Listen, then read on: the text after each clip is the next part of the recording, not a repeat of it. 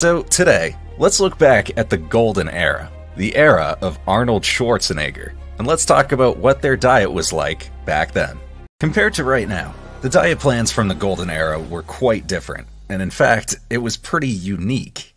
Back then, the diet involved low carbs, but high fats and high proteins.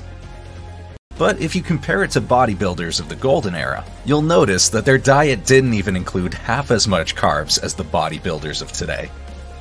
Instead, they relied a lot on fats and protein.